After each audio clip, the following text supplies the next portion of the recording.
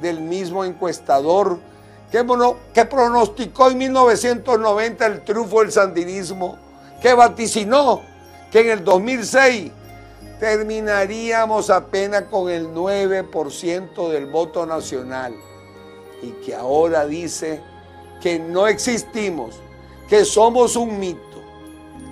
Hay que poner oídos sordos a todas esas mentiras y soberbias.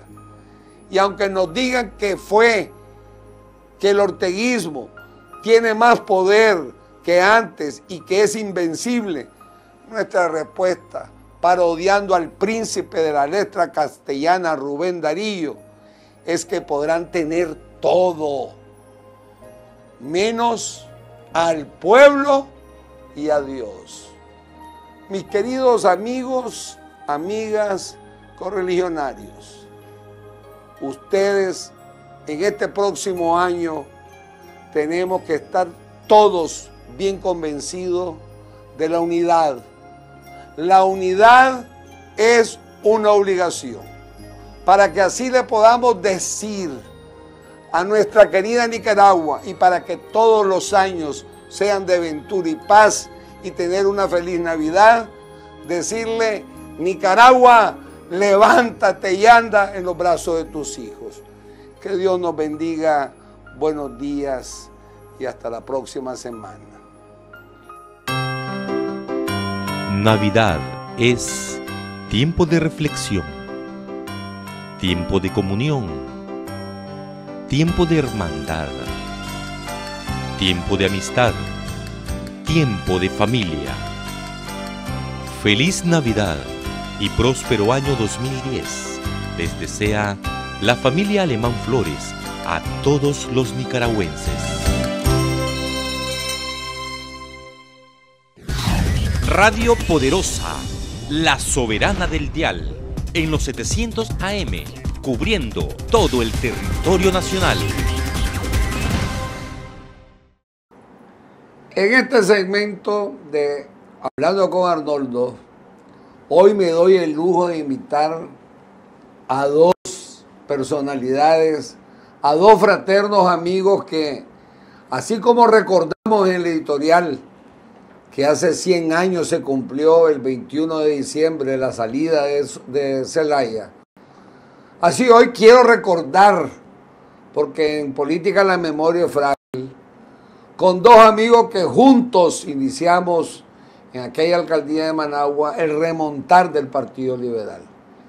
Me refiero a José Antonio Alvarado, mi hermano, y a nuestro querido doctor Rizo, nuestro candidato, que en realidad de verdad tenemos muchas experiencias o anécdotas que contar. José, y quiero iniciar con vos. El 21 de diciembre de 1909, 100 años, hubo una nota Nox. ¿Quién fue el causante en el liberalismo de esa salida de Celaya? Si perduró, ¿a quién escogió Celaya? Contanos un poco de la historia, vos que sos uno de los ideólogos del partido de historiadores. Bueno, la nota Nox se origina con un pretexto que fue el fusilamiento de dos norteamericanos que estaban metidos en asuntos internos nicaragüenses y que los capturan en el río San Juan. Eran Cannon y Gross. Entonces lo pasan, de acuerdo a los reglamentos militares nicaragüenses, por las armas. Eso origina la nota Nox que se la entregan precisamente a un señor de apellido Rodríguez, en la Embajada de Nicaragua, era el representante nicaragüense, le entregan la nota en que prácticamente excluyen a Zelaya, lo condenan y rompen relaciones prácticamente con Nicaragua. La nota no. El general Zelaya convoca, cuando ve la gravedad del asunto y sabe que Nicaragua es un país pequeño, débil, pero con mucha dignidad, convoca a su gabinete de gobierno, les lee con mucha solemnidad la nota Nox y les manifiesta que es imposible que él enfrente y que no quiere derramamiento de sangre en Nicaragua.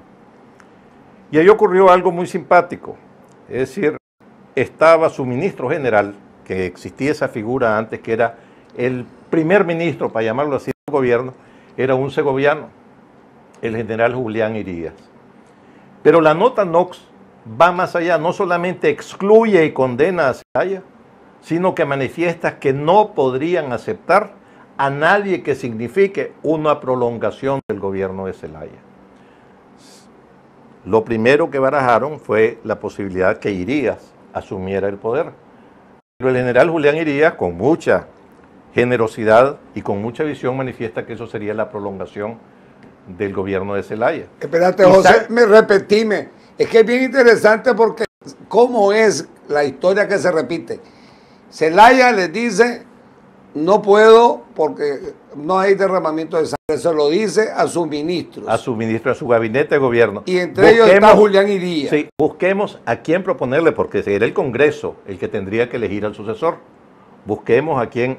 Yo pienso y sé que podríamos sugerir al doctor Irías, general y doctor Julián Irías. Entonces, Irías dice, no, porque yo sería considerado la prolongación, y ve que importante, la prolongación del gobierno de ustedes, general Zelaya. Yo creo que la persona adecuada sería traer de Costa Rica, donde estaba presidiendo la Corte Internacional de Justicia en Cartago, al doctor José Madrid, joven. Él fue el doctor adolescente, le dijeron en su, porque se graduó muy joven, y el ministro adolescente también, bien joven, ya había sido ministro de don Roberto Sacasa.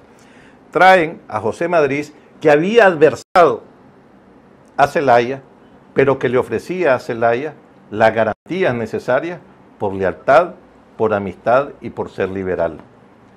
Y entonces manifestaba, iría en ese momento, que el doctor José Madrid era, que gozaba de prestigio internacional, de mucho respeto aún en sectores de oposición, y entonces es a quien proponen y llevan al Congreso Nacional para ser electo como presidente y sucesor del general Zelaya. Así se dio la circunstancia y la selección.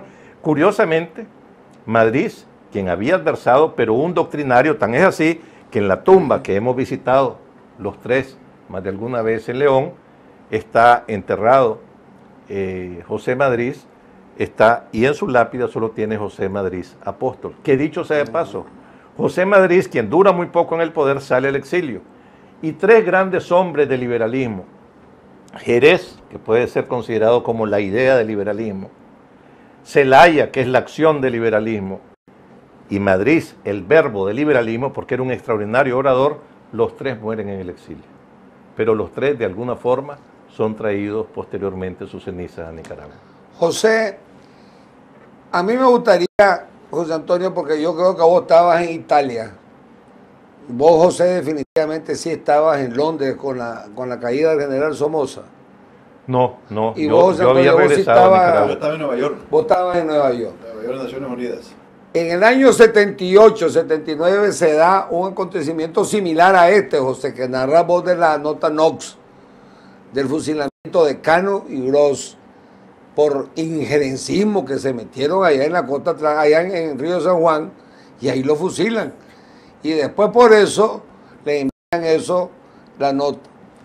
En el 78-79, aquí viene una comisión previa para decirle a Somoza, vea señor. Y analogías. Analogía. Y ya, y ya, ya no tenemos, ya no queremos nada. Váyase y mandan, creo que a, al señor Bauler y al comandante Jiménez de, la, Dominicana. ¿Qué hace Carter cuando llega el poder y está Somoza y viene el 19 de julio que está todo eso? Una repetición de una nota de desbaratar al liberalismo. ¿Qué es lo que sucede, José y José Antonio? Aquí va a salir difícil decir a vos, José Antonio, y a vos, José. Del liberalismo lo, lo proscriben. ¿Qué se siente, José Antonio, en el exilio de, un liberal y cuando oís que gente que había estado y que proscriben al Partido Liberal que creen que va a desaparecer? Mira, es doloroso, sumamente doloroso, porque el gobierno liberal y el Partido Liberal Nacionalista mantuvo una relación estrechísima con el gobierno y el pueblo de los Estados Unidos. Y dicho sea de paso, con tu gobierno tuvimos una relación súper estrecha. Excelente. Te digo, mencionarlo pues, entre los diferentes cargos, como ministro de Gobernación traímos la DEA.